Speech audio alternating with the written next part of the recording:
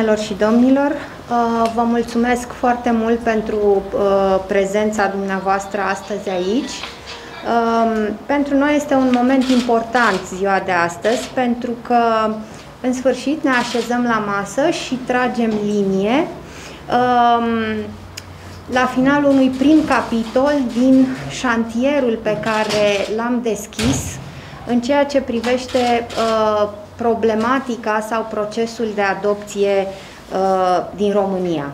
Așa cum știți, de-a lungul timpului, adopția a suscitat nenumărate dezbateri, uh, probleme legate de uh, durata procesului de adopție, de calitatea procedurii, de barierele existente, uh, fiecare caz în parte fiind în sine o poveste. Uh, astăzi vin în fața dumneavoastră alături de um, uh, colega mea, directoarea Direcției de Protecție a Copilului din cadrul ANE de PDCA, doamna Elena Tudor, și familia Coman, um, o familie absolut deosebită care um, a reușit să adopte un copil pentru a vă prezenta Ehm, rezultatele pe care noi le-am uh, le-am obținut în urma unui, uh, unui proces pe care l-am început în urmă cu uh, trei luni de zile. Acum trei luni și ceva de zile am uh, inițiat în contextul în care vi, vă, vi spuneam mai devreme cu problemele legate de adopție, un plan de acțiune extrem de îndrăzneț, uh, un plan de acțiune de deblocare a procesului de adopție Uh, națională intitulat în mod simbolic Copii, nu dosare. Uh, am numit acest plan în acest fel pentru că, așa cum am intuit, înainte de a începe efectiv analiza, verificarea și întregul șantier pe care l-am pornit, uh, cele mai multe dintre problemele care duceau la piedicile existente în sistem um, au legătură cu faptul că accentul se punea pe dosare și mai puțin pe copii. Um, trebuie să știți că în, uh, în momentul acesta în sistem există 49.765 de copii în sistemul de protecție, dintre care 12.175 se află în plasament la familia extinsă, la una dintre rude, da? Uh, iar 37.590 se află fie în asistență maternală, fie în centre de plasament. De asemenea, există înregistrate ca familie adoptatoare în România în acest moment 2609 familii în România și 55 de familii atestate pentru adopția internațională, adopția internațională însemnând că cel puțin unul dintre părinți este cetățean român dar locuiește într-o altă țară decât România. Și de la aceste cifre am pornit cumva demersul nostru în planul de acțiune care este public pe site-ul ANEDPDCA. În acest context trebuie să vă spun că în ultimii trei ani de zile, ca o medie aproximativă a uh, numărului de copii uh, declarați adoptabili anual, Uh, era în jurul de 3300 de copii pentru care specialiștii din direcțiile generale de asistență socială și protecția copilului uh, făceau demersuri de deschidere a adoptabilității. Uh, personal mi s-a părut că acest număr este foarte mic raportat la dimensiunea Uh, cifrei de 50.000 de copii aproximativ pe care noi îi avem în sistem. Și de la această constatare am început un amplu uh, proces de, uh, să spunem așa, uh, stimulare, verificare, observare a modului în care managerii de caz din direcții înțeleg să deschidă aceste dosare de adopție pentru copii. Deci, practic, pentru a-i face disponibil pe copiii din sistem în vederea adopției. Uh, de la sfârșitul lunii iunie, începutul lunii iulie, din momentul în care uh, am început acest demers, până la 30 septembrie, am dublat, practic, numărul de copii adoptabili. Astfel am ajuns la uh, cifra uh, incredibilă pentru aproape 3 luni de zile, de 7822 de copii uh, adoptabili în acest moment în România, în mai puțin de 3 luni de zile. Pentru acest lucru, uh, managerii de caz au revizuit 26.000 de dosare uh, pentru a identifica situațiile în care copiii puteau fi um, uh, pentru acești copii putea fi deschisă adoptabilitatea. De asemenea, au fost revizuite informațiile din Registrul Național de Adopții, respectiv uh, profilul public al copiilor, pentru 2035 de copii uh, adoptabili, în sensul descrierii profilului de o asemenea manieră încât viitoarele familii um, să poată înțelege care este profilul emoțional și psihic al copilului dincolo de um, diagnostice medicale și de niște uh, fraze și exprimări tehnice care nu spun nimic despre esența unui copil. Deci iată că în mai puțin de 3 luni de zile am dublat practic cifra copiilor adoptabili din România, ajungând la aproape 8.000 de copii care astăzi, în acest moment, um, sunt uh, gata să-și găsească o familie la noi în țară. Trebuie să vă spun însă că pe parcursul acestui, uh, acestui proces am întâlnit și o grămadă de probleme. Pentru că, dincolo de cadrul legal, de legislație, care să știți că nu este, nu are atât de multe probleme cum, um, cum pare a fi din exterior, problemele cele mai grave au legătură cu managementul de cele mai multe ori sau de multe ori, să spunem, defectuos sau ineficient, derulat la nivelul uh, direcțiilor în ceea ce privește procesul de adopție. Deci dacă avem niște bariere, dacă avem atât de mulți copii, copii pentru care nu s-au deschis adoptabilitatea atâta amar de vreme rămânând blocați în sistem, din punctul nostru de vedere, analizând o cantitate uriașă de date, principala cauză ar, are legătură cu felul în care specialiștii din serviciile de management de caz, adică cei care trebuie să pregătească dosarele în vederea uh, adopției și cei din serviciile adopției înțeleg să-și facă treaba. Astfel, trebuie să vă spun că pe parcursul acestui proces, dincolo de bucuriile pe care le-am avut legat de această creștere spectaculoasă a, a, a cifrei de copii adoptabili pe care am obținut-o cu o supraveghere zilnică, constantă a felului în care oamenii aceștia înțeleg să-și facă treaba, am descoperit și lucruri care nu sunt deloc în regulă și o să vă dau un exemplu. Uh, o să vreau să vă povestesc despre situația de la Sibiu, cazul DGASPC Sibiu, pentru care în luna septembrie ANDPDC a făcut plângere penală pe numele mai multor angajați din cadrul DGASPC Sibiu, manager de caz, personal de specialitate, juriști, dar și în numele conducerii direcției pentru abuz și neglijență în serviciu.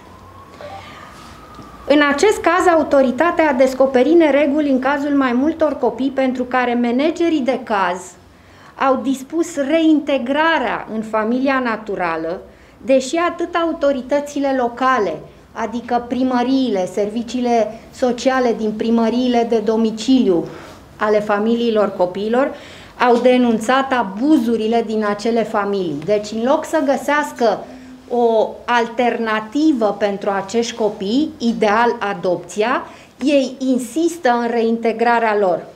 De exemplu, copii au, ă, copii au fost obligați de familie să se căsătorească, neglijați sau abuzați fizic de rude, care au fost reintegrat forțat în familie, deși evident nu acesta era interesul superior al acestor copii. Inclusiv instanțele Instanțele au reținut că nu existau condiții de reintegrare a copiilor în familii și în aproape toate situațiile au respins solicitarea direcției de la Sibiu de reintegrare. În felul acesta au fost ținuți ani și ani de zile copii blocați în sistem, care nu puteau să ajungă la o familie care și-ar fi dorit să, să-și întregească, să-și întregească sufletul și să aibă un copil în familie.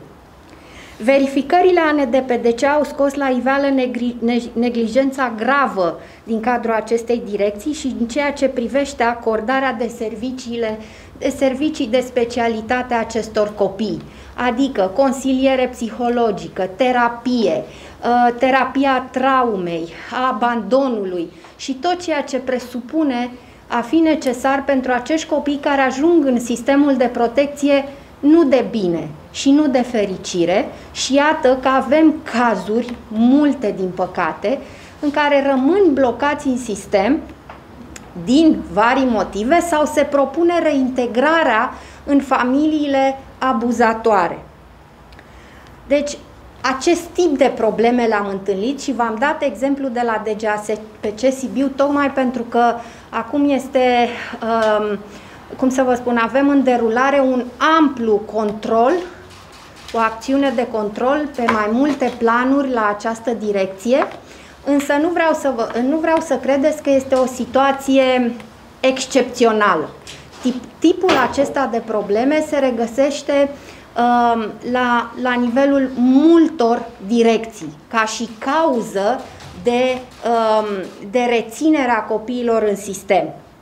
Alte cauze pot fi puse sub ceea ce eu înțeleg să numesc rezistența la schimbare um, și o să vă dau câteva exemple a ceea ce înțeleg eu prin rezistența la schimbare a sistemului cu privire, în cazul de față, că astăzi vorbim despre uh, adopții și managementul de caz în adopții.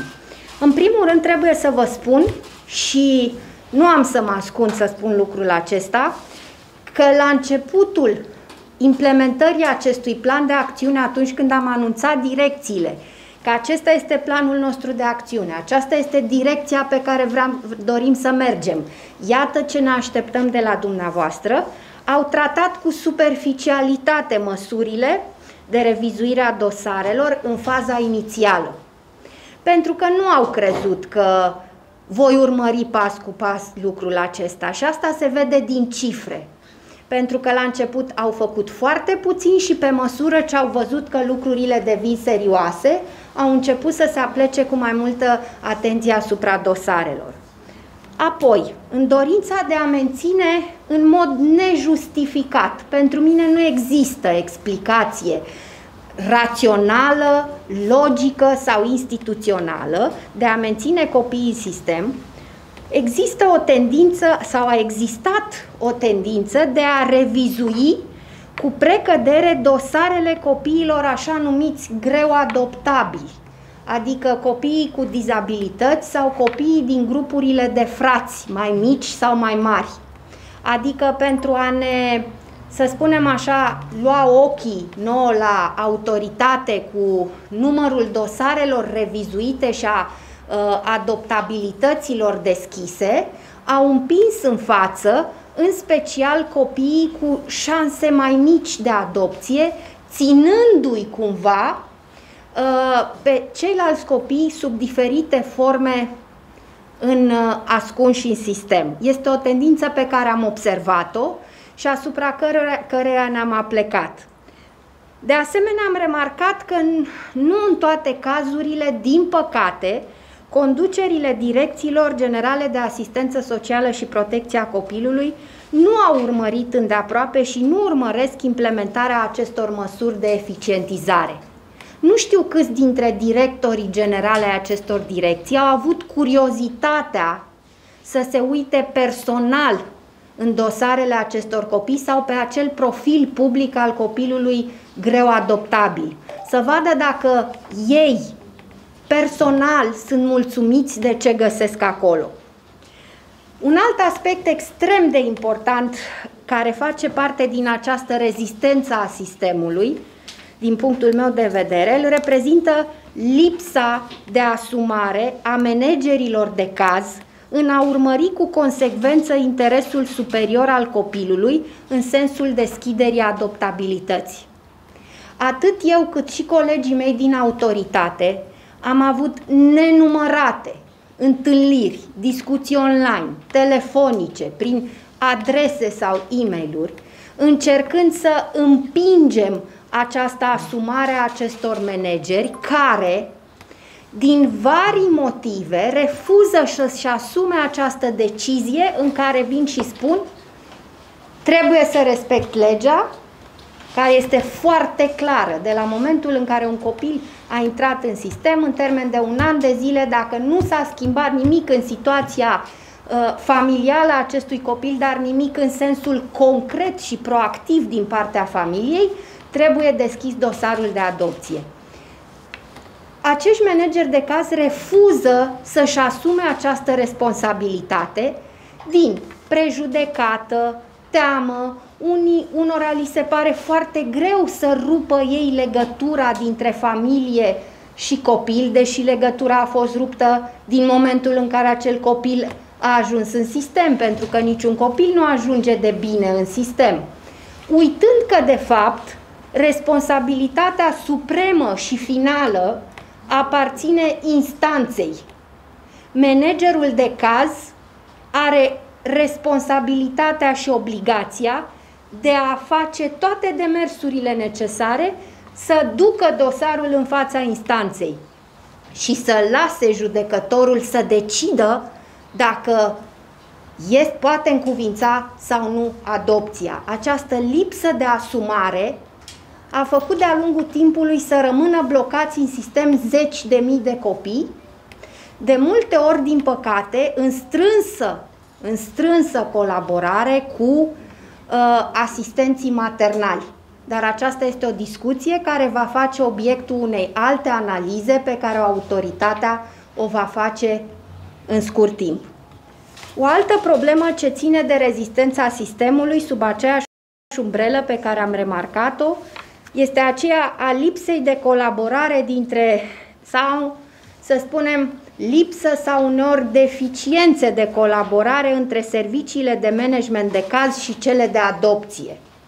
Pentru că există doi pași mari. Practic, managerii de caz pregătesc toate dosarele și documentația necesară și analiza uh, efectiv la, la firul ierbii a situației copilului și familiei acestuia, întocmesc un dosar și în pasul 2 serviciul adopției trebuie să se preocupe să facă demersurile către instanță și către familiile uh, posibile adoptatoare. Există probleme de colaborare, interconectare și, cum să vă spun, atitudine proactivă dintre cele două categorii profesionale.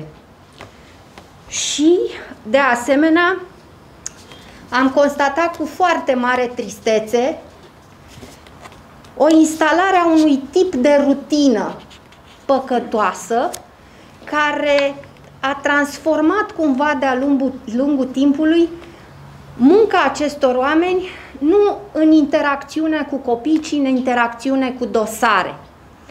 Uh, și ceea ce, ceea ce din această atitudine rezultă foarte multe dintre problemele pe care vi le-am, vi le-am enunțat. Din păcate, colegii uh, din această zonă, din direcții, și nu vreau să generalizez, dar cel puțin o parte dintre ei văd mai degrabă hârtii și dosare decât copii, ceea ce a dus în multe cazuri la suprabirocratizarea procedurilor inclusiv în ceea ce, uh, ce presupune relația cu uh, familiile adoptatoare și cu atestarea familiilor adoptatoare. Am întâlnit situații în care li s-au cerut familiilor adoptatoare lucruri aberante, care nu au nicio legătură cu cadrul legal, doar din dorința de a fi acoperiți, ca nu cumva cineva să-i tragă la răspundere li s-au cerut uh, lucruri precum uh, să nu aibă, să facă dovada că nu au niciun credit bancar, să facă dovada că uh, au câte o toaletă pentru fiecare membru al familiei. lucru care nu este nicăieri prevăzut în actuala legislație și nu știu câți dintre românii care trăiesc astăzi în, în țara noastră au o toaletă pe fiecare membru al familiei. Toate aceste lucruri îmi arată mie că este nevoie în primul și în primul rând de o reorganizare și de o regândire a felului în care este aplicată legea. Este mult mai important și de aici rezultă marea majoritate a problemelor decât cadrul legal în sine. V-am făcut acest tablou pentru a înțelege de unde greutatea cu care se mișcă acest sistem, deși noi avem, iată, 50.000 de copii în sistem și doar trei luni au trebuit să ne aplecăm cu insistența asupra acestei, acestei probleme și iată am dublat numărul copiilor adoptabili. Um, ca și măsuri pe care le avem în derulare și care de asemenea au dus la acest rezultat, trebuie să vă spun despre un ghid privind implementarea unitară a procedurii adopției interne, pe care l-am transmis direcțiilor, să știți că nu am inventat roata, nu o să vin să vă spun că în acest ghid am scris ceva despre care nu s-a auzit niciodată, ci pur și simplu am pus într-o formulă, să spunem, mai intuitivă și mai prietenoasă, prevederile legale pentru ca acești oameni să nu mai inventeze um, piedici și bariere în a-și face treaba. Dacă este foarte greu să te uiți în niște legi foarte stufoase sau în niște acte normative secundare, atunci iată, ai acest ghid care îți arată ce ai de făcut pas cu pas și mai mult decât atât cum trebuie să înțelegi cazul fiecărui copil în parte și cum să urmărești interesul superior. De asemenea, deși suntem puțini oameni aici la autoritate, care avem de-a face cu o grămadă de alte probleme în afară de uh, adopție, am demarat o serie de sesiuni de, informa- de îndrumare și consiliere pe regiuni, destinate specialiștilor din compartimentele adopție și vom începe și cu cei din management de caz, în care colegii mei de la Direcția de Protecție a Copilului discută cu acești oameni de la chestiuni de principiu, de înțelegere a cum interpretăm o prevedere legală, până la dosare pe care ei le au și unde se tem să ia o măsură sau alta. Asta nu înseamnă că transmit direcțiilor mesajul, cum am văzut că există tendința, de a se acoperi cu decizia noastră. M-am întâlnit cu această situație și fac o paranteză în care ni, s-a, ni s-au prezentat niște cazuri, ne-au fost trimise adrese oficiale și ne-au spus spuneți-ne noi ce, dumneavoastră ce să facem, deschidem adopția sau nu. Uh, țin să le reamintesc colegilor că funcția sau profesia de manager de caz presupune analiza, coroborarea datelor și luarea unei decizii. Haideți să nu ne mai ascundem în spatele unor hârtii venite de la o autoritate ierarhic superioară. Ăsta este rolul managerului de caz. Asta nu înseamnă că noi în aceste sesiuni de consiliere și îndrumare nu vom discuta și nu discutăm pe fiecare caz în parte, însă concluzia și semnătura va aparține, pentru că de asta lucrați acolo și de asta aveți funcția de manager de caz. Uh, de asemenea, trebuie să vă spun că ANDPDCA, începând de din din zilele noastre acum va aplica contravenții. Am identificat în uh, cadrul uh, normativ de funcționare și de atribuție al acestei autorități o pârghie care în mulți ani de când există această autoritate nu a fost niciodată folosită. Și anume ANDPDCA-ul are prin lege dreptul de a aplica contravenții.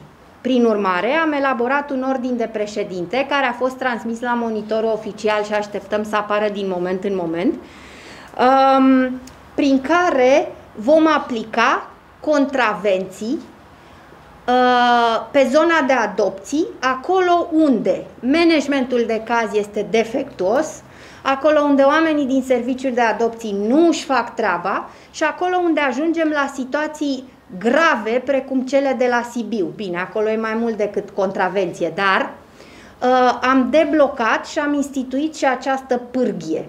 Și uh, pentru aceasta am elaborat un plan de control în domeniul adopției care va urmări implementarea măsurilor și aplicarea prevederilor legale. Um, da, numai o clipă voi răspunde la întrebări la final, mai am foarte puțin. Deci pe, vreau să vă spun că înțeleg multitudinea de probleme cu care se confruntă direcțiile. Dar, dincolo de acestea, trebuie să înțelegem că au în mine și în autoritate un partener pe ceea, toată zona de îndrumare și consiliere și tocmai din acest motiv am făcut atâta muncă de unul la unul și vom face în continuare prin consiliere, prin ghiduri, prin instrucțiuni, prin metodologii, dar în egală măsură am făcut funcționale și pârghiile coercitive.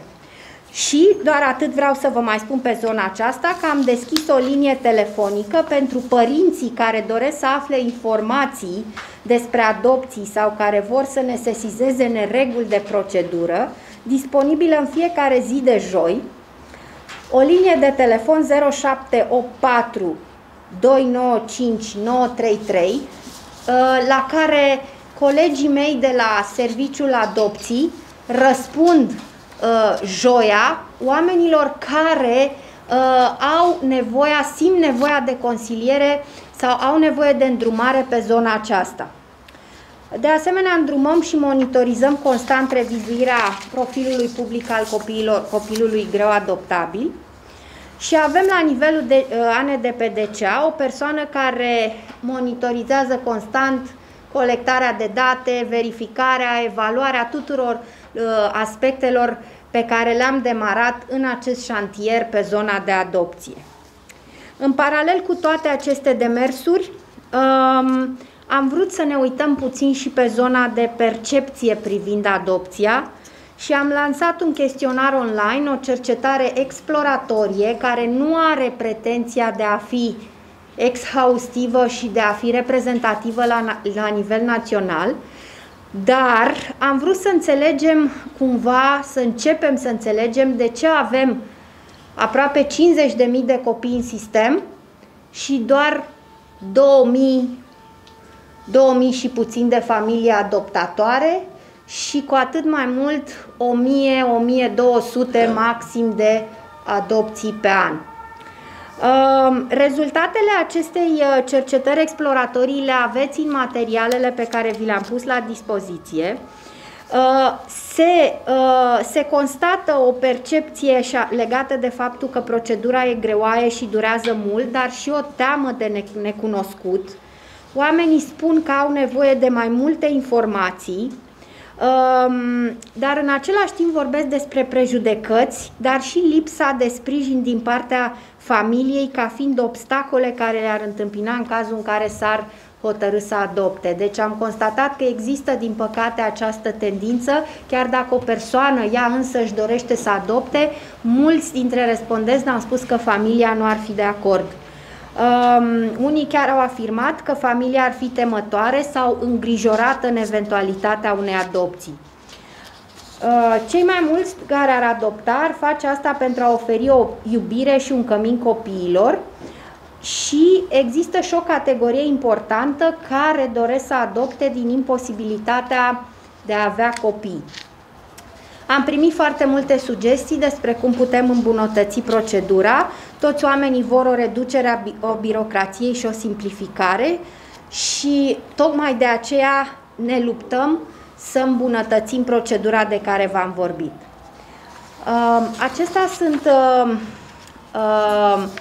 principalele aspecte pe care am vrut să vi le împărtășesc astăzi. În primul rând că ne aflăm în situația în care Uh, avem aproape 8.000 de copii gata să, să-și găsească o familie și de asemenea am vrut să, să aduc în fața dumneavoastră niște oameni care au trecut printr-o astfel de procedură, cu bunele și cu relele ei Și uh, cu voia dumneavoastră o să las pe familia Coman să ne împărtășească câteva, uh, câteva lucruri din experiența pe care au uh, avut-o, iar după aceea răspund și eu și doamna director la orice întrebare pe care o aveți pe zona asta. Vă mulțumesc mult!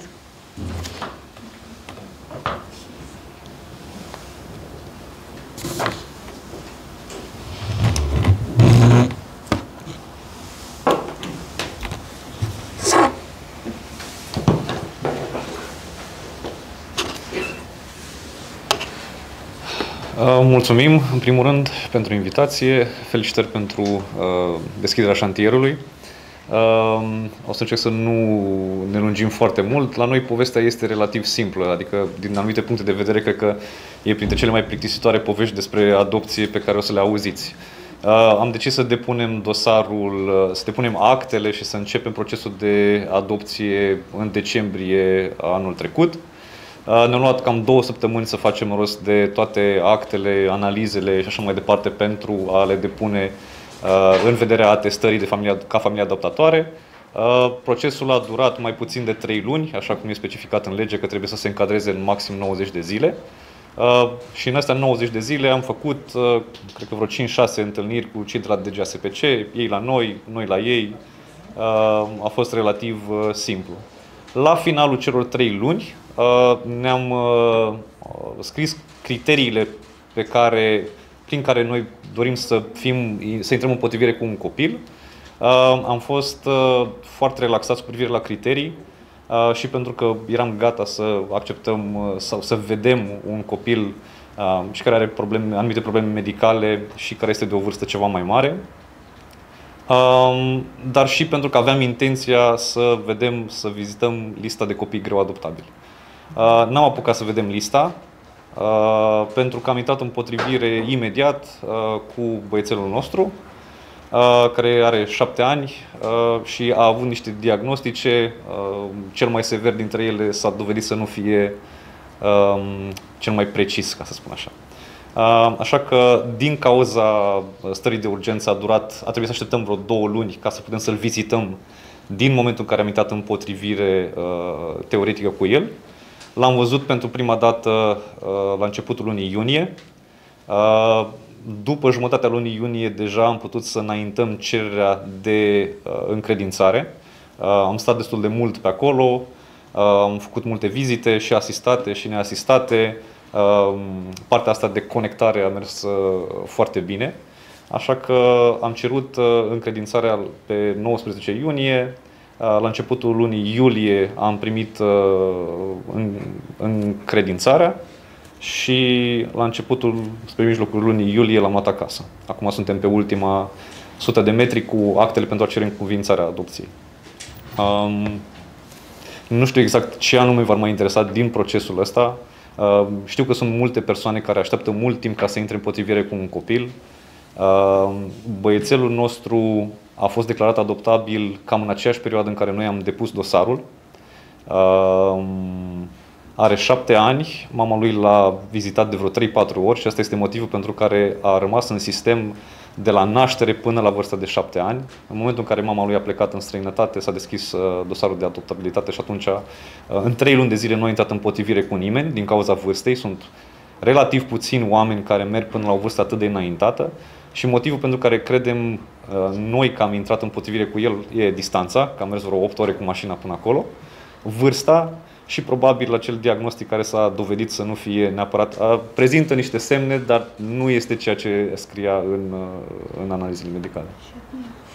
Ah, și, și etnia. Tipar, e cu atât mai greu să-și găsească da o bucurie să o aduc acasă? Da, clar. Acum, noi suntem pe... Oricine intră în procesul ăsta se interesează destul de bine. Eu am și lucrat în domeniu și atunci sunt pe grupuri de Facebook, vorbesc cu tot felul de oameni despre subiectul ăsta și știu că sunt oameni care au atestat de mult timp, care se reatestează, pentru că uh, criteriile pe care ei le au uh, sunt uh, cum să zic, le, le fac dificilă potrivirea cu un copil. Dacă aștepți un copil care să fie clinic sănătos, eventual și istoricul să fie ok și etnia să fie cea corectă, uh, s-ar putea să aștepți foarte mult timp. mai ales că, în general, tocmai pentru că durează sau a durat până acum destul de mult uh, procesul ăsta de declarare a adoptabilității, nu ai cum să găsești copii foarte mici. Dacă copilul a fost luat din familie la vârsta de 2-3 ani, mai adaugă perioada care uh, e necesară declarării adoptabilității și deja a intrat din pragul majorității familiilor cu privire la vârstă.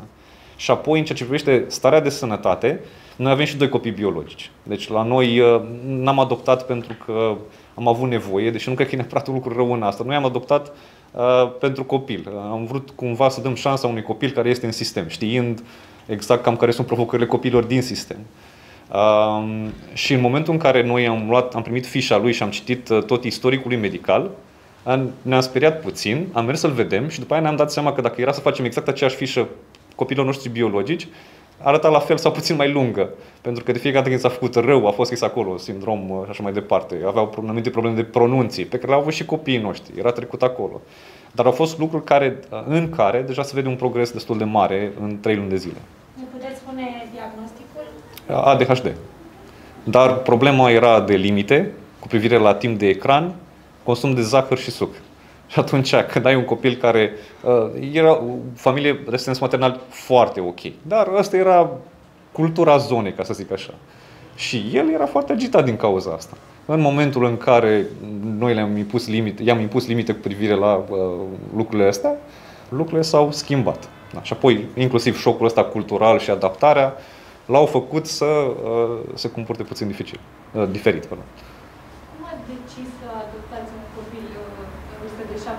spuneați mai devreme că există în unele familii această dorință de a adopta copii mai mici. Păi, relativ simplu, ne-am informat în primul rând da? cu privire la ceea ce înseamnă pentru un copil, care sunt efectele sistemului asupra lui. Dar nu am adoptat un copil pentru că aveam nevoie să avem un copil, dar mai ales în cazul nostru e destul de limpede, având niște copii mai mari deja, copiii noștri biologici fac îndată 9 și 7, Uh, în principiu am zis să fie de maxim șapte ani ca să fie mai mic decât cel mai mare copil al nostru. Da? Deci asta e o sugestie pe care o dau psihologii. În momentul în care ai creat o cultură în casa ta, când aduci uh, un nou membru, e mai ușor uh, ca el să fie ceva mai mic și să preia ceea ce fac cei mai mari. Și atunci, motivul pentru care am pus șapte, pentru că poate să fie până la șapte și 11 luni, da? a fost asta, să nu fie mai mare decât băiețelul nostru cel mai mare. Dincolo de asta, v-am spus, noi oricum voiam să mergem pe lista de copii greu adoptabili. Acum, eu cred că e nefericit numele lista de copii greu adoptabili. Sunt greu adoptabil, au două criterii. Trei luni nu intră în potrivire cu nimeni și băiețelul nostru urma să intre pe listă dacă n-a intrat deja, pentru că în trei luni nu intrase în potrivire cu nimeni. Sau în 9 luni a intrat în potrivire cu cineva, dar totuși nu a fost adoptat, pentru că potrivirea se poate întrerupe. Și atunci noi ne-am gândit, mergem către un copil care nu are o șansă la fel de mare precum ceilalți, mergem undeva la pragul mai sus, de care alții se feresc. Uh, și v-am spus, eram gata să mergem către lista de copii greu adoptabili, n-am apucat și am luat-o ca pe un semn de la Dumnezeu. Dacă am intrat în potrivire imediat cu el, au mai fost câteva lucruri pe care noi am decis să le privim ca și când ar fi semne și am mers înainte cu adopția. Ce s-a schimbat la băiețelul dumneavoastră de când l-ați adoptat? Ne spune și mama? Sigur.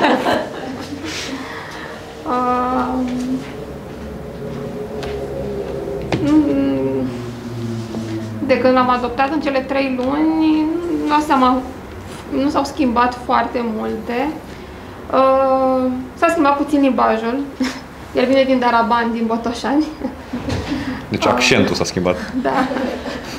Uh, relația cu cei doi copii biologici s-a se comportă mai mult ca frați. uh, și cam atât. El nu a fost, uh, diagnosticul acela de ADHD a fost clar uh, exagerat.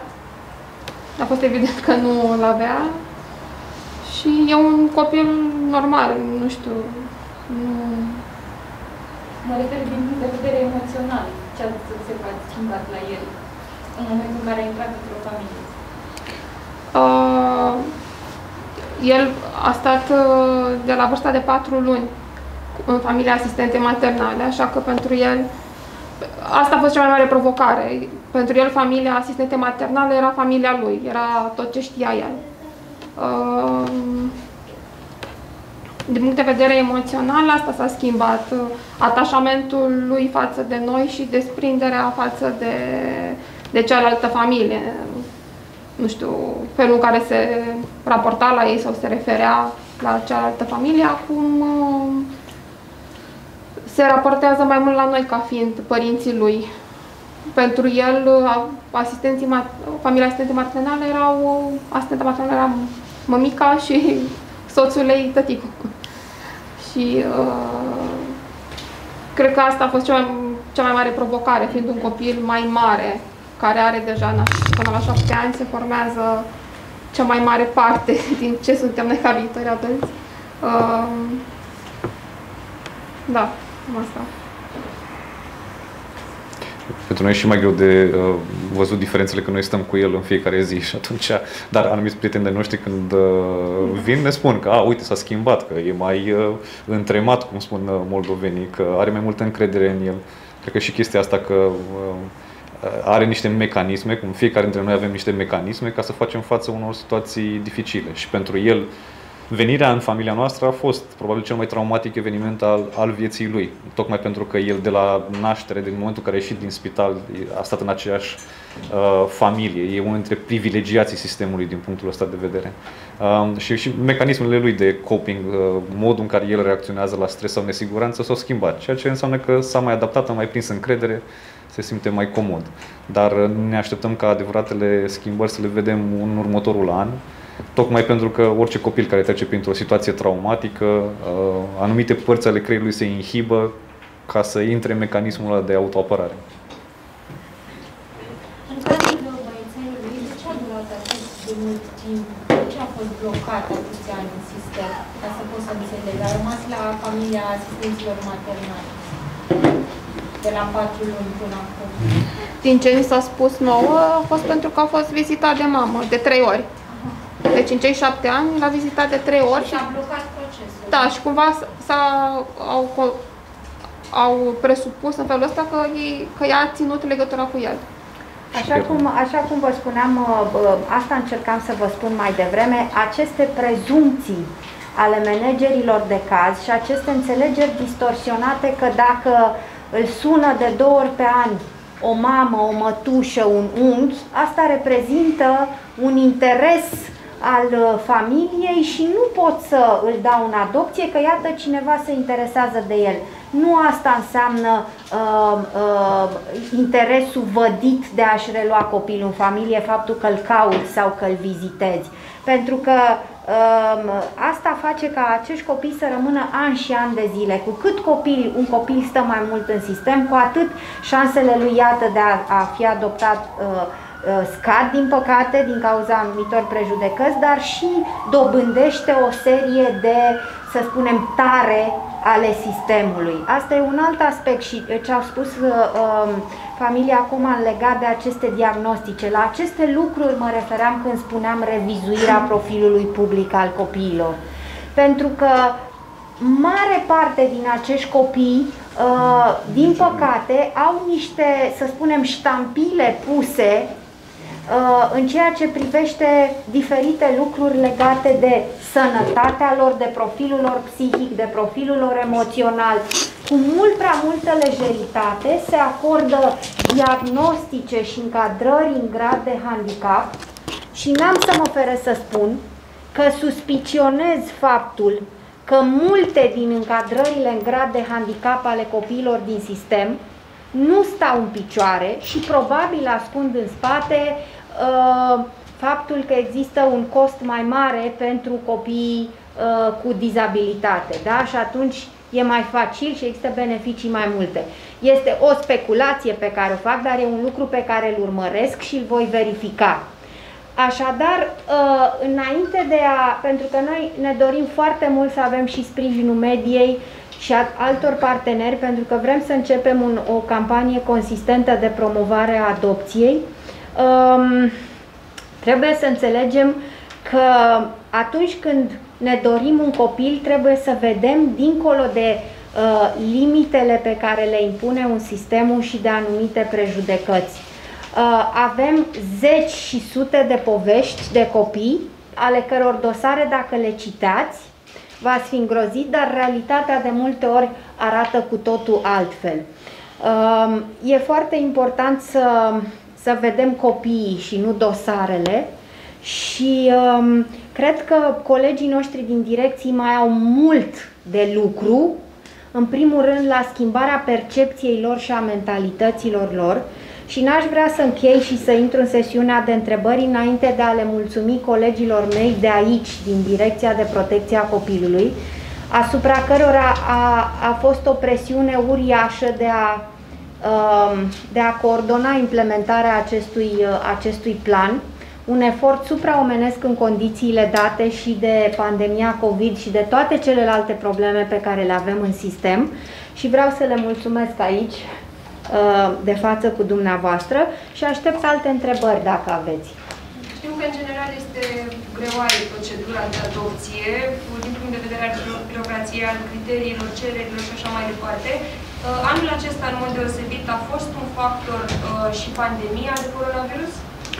Da, să știți că anul acesta avem un număr mai mic de adopții efectiv încheiate, Uh, care se corelează 100% cu pandemia, pentru că cel puțin în starea de urgență s-au blocat toate potrivirile, uh, n-au mai existat interacțiune din motivele pe care le cunoaștem. Uh, dar așa cum spunea și familia Coman, aș vrea să subliniez un lucru foarte important. Eu am adus aici un grafic care se regăsește și pe site-ul ANDPDCA, care reprezintă efectiv pașii și procedura de adopție. Trebuie să vă spun că blocajele care se produc cel mai adesea apar în, um, în acest punct, adică la momentul în care se identifică un copil pentru părinte. Vi-l pot transmite și pe mail acest grafic dacă vă ajută cu ceva. Um, de ce? Pentru că, așa cum spunea uh, și Ștefan Coman, um, de cele mai multe ori există anumite Um, să spunem așa, setări generale cu care părintele vine, dar există și o vina noastră în povestea asta, la care acum lucrăm. Felul în care sunt gândite și scrise acele formulare pe care le completează familia adoptatoare, îți induce o opțiune restrictivă. Eu dacă v-aș întreba pe dumneavoastră, vă doriți nu, de un copil, nu despre un copil uh, pe care să-l adoptați, propriul copil. Vă doriți să aveți un copil cu handicap sau fără handicap? Ce ați răspunde? Adică, uh, cred că este foarte prost gândit acel document și asta este următorul capitol al șantierului pe care îl deschidem. Deci felul în ce îi se prezintă familiei ca și tipologie de opțiune, îți cumva normal că te îndreaptă către niște opțiuni care sunt mici și aproape inexistente în sistem, atât timp cât tu faci tot posibilul să-i scoți pe copii bonlavi și cu handicap, pentru că au un buget mai mare în spate. Foarte clar și deschis despre lucrurile astea vorbim. Uh, și atunci vom luc lucrăm, am început deja să vedem, trebuie modificate niște acte normative secundare uh, pentru a modifica aceste formularistici, dar în egală măsură avem nevoie uh, ca și oamenii care intenționează să, să adopte, să lucreze cu mentalitatea lor, cu emoțiile lor și să înțeleagă că un copil din sistemul de protecție este întotdeauna un copil care vine cu cel puțin o traumă în spate. Nimeni nu ajunge acolo de bine. Și atunci e evident că uh, are niște probleme, de cele mai multe ori de ordin emoțional și mai puțin medical. Însă în sistem ele se traduc în diagnostice medicale. Adopția este mai mult decât uh, uh satisfacerea unei nevoi biologice, uh, este despre a ne împlini noi ca oameni și a oferi șansa la un destin bun uh, copiilor noștri. Eu nu cred că 20 de milioane de români nu pot oferi familie la 50 de mii de copii. Și dacă îmi permis, Madalina, referitor la întrebare, eu uh, nu cred că procesul este atât de dificil. Adică noi am depus actele pe care le-am strâns într-o Suntem norocoși. Suntem norocoși pentru că... Am care încearcă de ani Da, dar totul se rezumă la potrivire, cum spunea Madalina. La noi potrivirea a avut un loc în două zile. Și atunci, să nu uităm, deci este lista asta de copii greu adoptabili, care înseamnă greu adoptabil pentru că nu au fost alții interesați de ei, nu neapărat că au niște probleme atât de grave. Lista asta tocmai s-a populat sau urmează să se populeze în trei luni dacă nu intră în potrivire cu altcineva. Pentru noi, dacă scoatem starea de urgență din uh, schemă, am depus actele în decembrie și am avut copilul acasă uh, în iulie. Tai două luni, îl aveam acasă undeva prin luna mai. Deci nu birocrația este, sau cel puțin nu actele astea, dacă înmatriculezi o mașină în România, s-ar putea să fie la fel de dificil dacă ai dus din uh, cine știe ce țară din Uniunea Europeană. Dacă ai dus în afara Uniunii Europene, e mai greu decât adopția. Problema este mai degrabă la criterii și zic chestia asta și ca o încurajare pentru oameni. Întotdeauna încerc să încurajez alți oameni care vin cu întrebări privire la adopție. Dacă nu ați intrat în potrivire, vedeți copiii, intrați pe listă, uitați-vă acolo la fișă, dar nu băgați în seamă totul, mergeți și vedeți copilul. Pentru că în momentul respectiv, altfel relaționezi față de el decât față de o hârtie, plus că ai validarea că este sau nu este uh, lucrul la real. Copiii ăștia, cea mai mare șansă lor la o viață mai bună este ca cineva să spună ok, trecem și peste hopul acesta. Ce se întâmplă cu legea din Parlament, unde ar trebui să renunțăm la toate semnăturile până la rudele de gradul 5? Ca acolo înțeleg că e o altă complicăciune. Uh, nu este o nicio complicăciune, uh, a fost modificat acest aspect, uh, nu se vor mai căuta rudele până la gradul 4, ci până la gradul al 3-lea, legea este la promulgare, dacă nu... Sau, sau trebuie adoptată în plen, da. În ce măsură familia O secundă, că n-am încheiat. Deci, trebuie adoptat în plen și mm -hmm. ea prevede reducerea acestor da, da, da. Deci încă așteptăm. Încă așteptăm, este doar o chestiune de timp, probabil sunt foarte multe aspecte tehnice acolo care ar îmbunătăți cumva această procedură, însă așa cum vă spuneam, problemele sunt să-i avem vizibil pentru copii, adică pentru părinți, adică managementul de casă să fie adoptabil, că ăștia 50 de mii ei nu, nu sunt văzuți de familiile adoptatoare iar pe de altă parte, partea aceasta a criteriilor de care vorbea domnul Coman. În ce măsură familia adoptatoare, după adopția copilului, are dreptul să-l caute și să-l viziteze?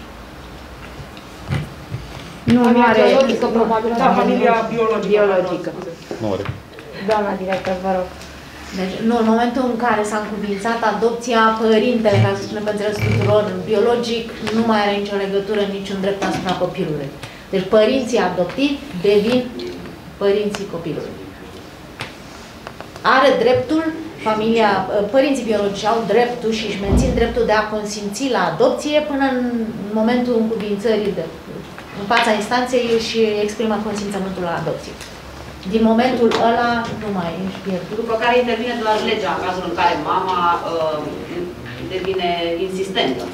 Pentru că știu că există astfel de cazuri. Sunt copii adoptați, mama revine, vrea să-și vadă copilul da. și de aici se iscă alte drame, drame și traume, încă alte traume pentru copii. Deci, nu. Uh, deja depășim momentul adopției, s-a adoptat copilul și după rudele biologice sau copilul adoptat are dreptul să-și cunoască istoricul și avem prevedere foarte clară în sensul ăsta, este o hotărâre de guvern contactarea, dar nu în orice condiții, numai nu pentru copilul minor, la, dacă este major, el poate să afle tot istoricul și avem situații de genul ăsta frecvente. Cred că vorbim despre plasament, nu despre adopție. Dacă copilul a fost dat în plasament la o familie, părintele poate să intereseze de el și apoi uh, intervin niște schimbări, dar la adoptabilitate nu se aplică chestia asta. n-ar trebui modificată și acea parte din lege care vorbește despre relația dintre uh, părintele biologic și copil în momentul în care el este în plasament, pentru că înțeleg că acolo a fost o problemă și în cazul dumneavoastră. Se considera că acel copil avea legătură cu mama, deși l-a vizitat de trei ori. Uh, nu, aici este o problemă exclusiv de aplicare a legislației. Deci e de aplicare și nu de reglementare. În momentul de față, așa cum spunea doamna președintă, reglementările sunt foarte clare. După maxim un an, trec peste celelalte, că sunt mai multe etape, 30, 6 luni, după maxim un an, da? poate fi demarată procedura de deschidere a adoptabilității dacă familia naturală nu dovedește că a făcut ceva astfel încât copilul să poată reveni în familie. Era exclusiv de aplicare și de aș pună fără nicio reținere de asumare a unei astfel de propuneri din partea managerului de caz. Dar ce înseamnă că nu dovedește că a făcut ceva? Mai explicit? Vă dau, vă dau exemplu, da? Prove- Provine dintr-o familie foarte săracă, da? Nu are nici loc de muncă, nu are nici... Bă, casa este bă, dă- dărăpânată, da? E, în perioada asta, cu sprijinul autorităților locale, cu sprijinul ONG-urilor, cu sprijinul... Familia trebuie să dovedească că a făcut ceva. Uh, Că și-a căutat un loc de muncă, că muncește ca zilier, că trăim în România, deci da, nu trebuie să ne propunem lucruri mărețe. Deci să, lucrează, ca- să lucreze ca zilier, să beneficieze de toate uh, prestațiile care se acordă în România, da? să-și depună dosar, să încerce să facă ceva, să-și pună geamuri la casă. Deci lucruri de genul ăsta. Și să Ca se exemplu. intereseze și să dorească să ia copilul în familie, pentru că mulți dintre, uh, din păcate, în multe situații nu se întâmplă lucrul ăsta, adică ok, îl sună copilul sau îl caută o- la intervale de câteva luni de zile, sau, dar nu dorește să-l ia acasă. Nu doresc să vină acasă spunând că "A, nu pot să am grijă de el, dar îl vizitează. Asta înseamnă că tu practic te joci cu destinul acelui copil, îl ții într-o așteptare, într-o așteptare perpetuă, poate la un moment dat acel părinte uh, se gândește sau face altceva, este absolut împotriva interesului superior al copilului și împotriva legii, care are niște prevederi foarte clare, pe care însă, din păcate, din lipsă de asumare și din alte motive, managerii de caz găsesc tot felul de, să spunem așa, portițe de a le eluda. Uh, trebuie să înțelegem că măsura protecției într-un centru de plasament și în egală măsură în asistența maternală sunt măsuri tranzitorii. Ori acel copil trebuie să înțel- se întoarce în familia biologică, lucru pe care ni-l dorim cu toții. Nicăieri nu este mai bine decât în familia teoretic în care ne-am născut. Dar dacă acolo nu există această posibilitate, trebuie să-i dai dreptul de a avea o familie. Pentru că a fi adoptat nu înseamnă doar că ai un loc în care să dormi, cineva care să te hrănească ci- și să te îmbrace. A, înseamnă a deveni parte dintr-o familie cu drepturi și obligații, dreptul la moștenire, dreptul la o grămadă de lucruri care înseamnă apartenența legală la o familie. Asistența maternală este o măsură tranzitorie pentru a nu mai ține copiii în centre. Spuneți că vor fi uh, sancțiuni pentru cei care își neglijează, nu din punct de vedere penal, uh, atribuțiile de serviciu. La ce sancțiuni vă referați? De la cât până la cât, dacă puteți să ne dați un exemplu? Sunt uh, uh, sancțiunile contravenționale stabilite de lege, uh, de la, uh, cred că undeva în jur de uh, 500 de lei până la câteva zeci de mii de lei, în funcție de gravitatea uh, faptei, să spunem așa, săvârșite. Aveți o statistică cu câți copii au fost uh, adoptați în perioada de după declanșarea pandemiei Uh, Da, da. Um, Deci, în și două... o paralelă cu aceeași perioadă a anului trecut, dacă se poate? Cu, a- cu aceeași perioadă nu am, am la nivel de an, dar vă spun că uh, pe disponibil în acest moment, dar vă pot tra- trimite.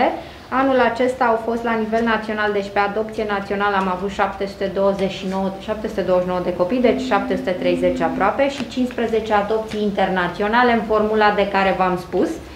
În timp ce în 2019, pe tot anul, am avut 1264 de adopții naționale și 22 de adopții internaționale. Um, Însă, într-adevăr, un factor foarte important a fost uh, uh, uh, epidemia. Perioada, în special starea de urgență, cele două luni au blocat foarte mult acest proces. Cât e valabil acel atestat al părintelui care devine adoptat pe 2 ani? Doi ani. Deocamdată Doi 2 ani. ani, dar în proiectul de lege el va fi extins. La câți? La 5. La 5. Ce mai prevede acest proiect? Te rog. Semnăturile, acele dosar de familie, practic, Exact. certificatul extins de la 2 la atestat. Da, valabilitatea la cinci ani. atestatului, da, și bă, sunt introduse acele facilități familiilor adoptatoare, pentru că, așa cum spunea și bă, doamna președinte, și familia Coman, ne dorim uh, să fie adoptați cât mai mulți copii cu dizabilități, copii din grupe de frați, copii mai mari. Deci și ele vor primi uh, anumite, o sumă de bani lunar pentru copil. Deci dacă sunt copii Acele mari, familii. da, da, da, da, familiile adoptatoare. Deci ăsta este, cred că, lucrul cel mai important.